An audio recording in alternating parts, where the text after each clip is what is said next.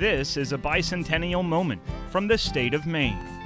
Florence Whitehouse could see social injustice, and she was unafraid to point it out. In 1917, Whitehouse writes If women want a hand in the control of civic conditions, they must have the right to vote.